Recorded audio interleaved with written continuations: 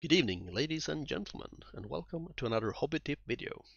This one will be fairly short and cover a very simple topic, which is water. We use water for a lot of stuff in hobbying. We wash our brushes in it, we thin our paints, we put it in the wet palette, we clean the airbrush, and we put it on the sculpting tools to stop the clay from sticking. So very useful and essential stuff. And for the most part, you can use ordinary tap water and it will be perfectly fine for our purposes. I used that for years and years for all of it and never had any, any trouble really. But for some purposes, particularly the airbrush, cleaning it and things like that, it can be wise to at least consider using distilled water, pure water, because tap water does contain some small amounts of other stuff than water such as calcium, magnesium, chlorine, lead, hopefully not that much lead, and uh, also nanoplastics and tons of other stuff. But again, very, very small amounts. So often, most of the time, it's not something to worry about, even for purposes of hobbying. But with the airbrush in particular, you kind of want to be careful with everything that you put through it. The more stuff that you allow to go through the airbrush, the more risk it is of something clogging it up and you, you don't want that. So using pure water is a little bit safer. That said, like you can probably go ahead using tap water for it for a long time and it, it won't hurt it. Like it's it's probably not that big a deal. But if you want to be extra careful, you can use distilled water, pure water. And also should be said that depending on where you live in the world, the uh, tap water will have different contents in it. Some some places it's more additives, some places it's less, and depending on that can be varying degrees of uh, necessity to replace it with pure water. So personally, I keep a handy little bottle of pure water with my with me when I'm painting. I use this to refill my wet palette and to clean my airbrush.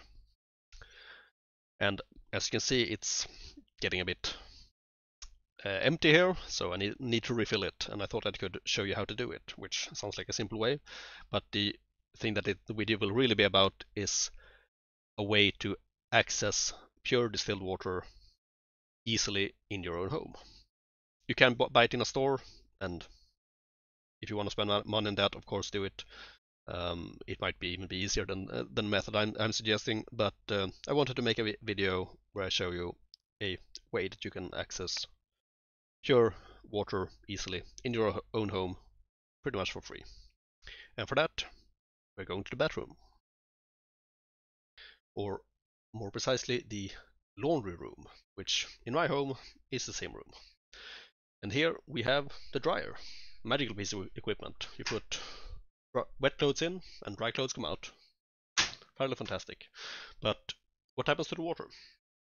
And the answer might differ a bit from country to country and the exact make of dryer you have. But in Sweden, Sweden at least, it is common that the water is collected into a large tank like this one. And what's in here is pretty much pure water. I mean, after all, the dryer it heats up the water in the clothes and pulls it out, and then the condensation is collected and put into this tank. So it's pretty much distilled water. So perfect for our purposes. We can simply take it and pour it into a bottle using a funnel over here. And it gets everywhere, but it doesn't really matter. We have there's plenty of water in this tank to last us a long time. So something like that, we just put the tank back.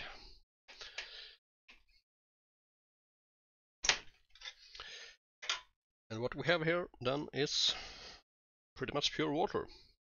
Or at least we wish it were. There's one little problem. The dryer isn't perfect, and even though it has some filters and stuff, it uh, can happen that some pieces of uh, fiber and other bits and dirt and stuff, uh, hopefully not too much dirt, but um, does get through and end up in the water tank and we don't want those going through our airbrush so we're gonna take another bottle and use the funnel again.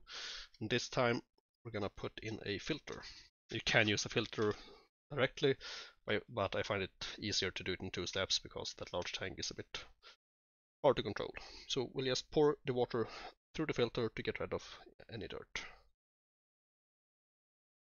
And this is not a super fast process because the water actually has to go through the filter, which is a bit tedious. So using some movie magic, we'll just cut to where I'm finished with this and I can give you the final words before we close this off. And there we have it.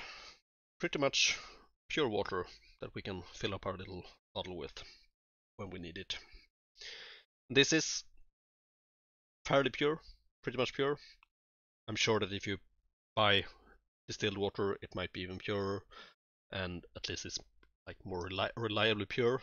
But given that this is a free resource that's available in, in your house, it's pretty nice, and it's definitely definitely better than tap water.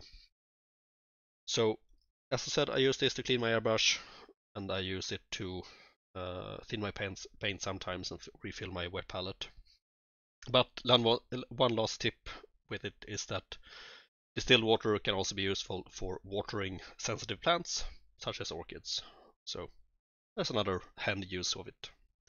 So with that, I thank you very much for watching, and I hope to see you in the next one. Cheers!